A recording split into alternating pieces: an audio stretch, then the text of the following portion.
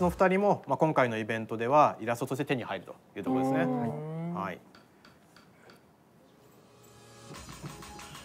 まあ、ちょうど夏のこの時期に発表された楽曲ですね。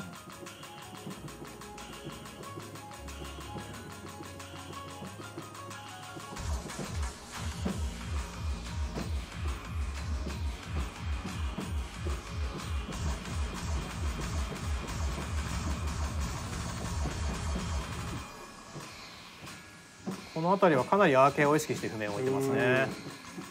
過去何譜面かあの作らせていただいたんですけれども、まあ、その中でもやっぱり今回は特にアーケーを意識した譜面を作らせていただいたのであの自粛期間中にね皆さんアーケー上手くなっちゃったと思うんですよ。うっかりねはい、その実力をねチューニズムで発揮していただきたいなと思ってます。おおそうですね。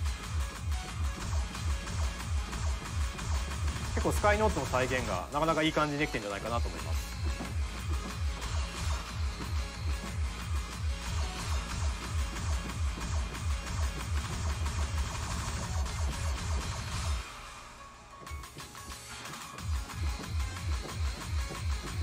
の辺ですね。スカイノーツですね。またチュニズムでやるとプレイ感が変わって新しい感じがしますね。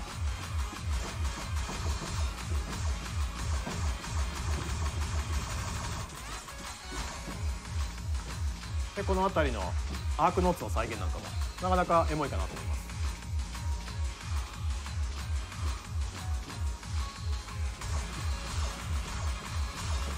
っとくちばしが映ってるのが可愛いですね。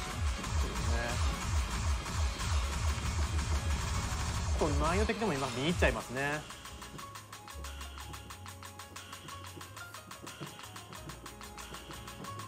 あら綺麗。いいあはい、ありがとうございました。やっぱ爽やかなね曲で爽やかな曲でしたね。いいですね彼にやっぱりこの